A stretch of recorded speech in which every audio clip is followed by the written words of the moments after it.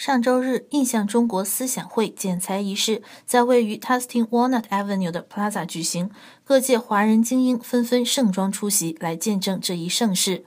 在剪裁仪式开始前，飞哥首先叙述了自己为推广刺绣艺术，走遍五湖四海，商旅全国近二百多个国家和地区，历经十四年的艰辛故事，让在场人士无一不为之感动。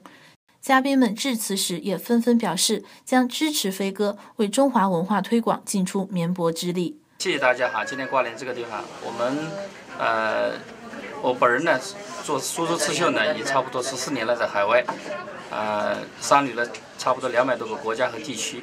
那么最近呢，我们四月二十五号又搞了一个旗袍秀，网上的旗袍秀，呃，最大的点击差不多将近一千多万的，到现在为止，五十三个人参与。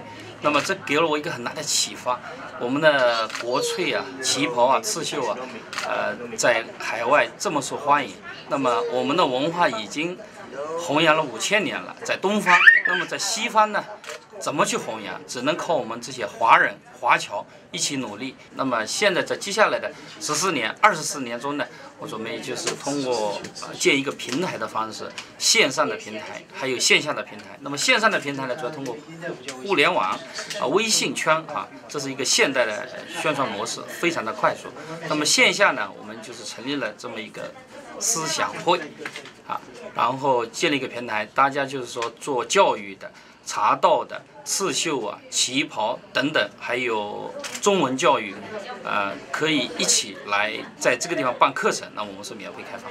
苏州刺绣简称苏绣，原指江苏东部各地刺绣之总称，包括中国苏州、无锡、常州、南通、扬州等地的传统刺绣，其中以苏州刺绣最古最盛，至今流传，故时下以为江苏刺绣之一般代名词。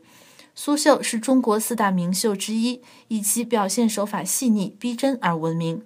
二零零六年被列为中国国家级非物质文化遗产。而飞鸽刺绣题材广泛，中西合璧，和多国摄影家、画家合作，将生动形象的自然景观、各地顾客喜欢的花鸟动物等，用纯手工刺绣表达出来，任千丝，缝百色，绣万国于一锦。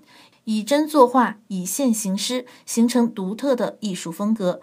这一全新的创新模式已经受到了洛杉矶艺术品市场的认可。汉天卫视记者王月宁、乔可报道。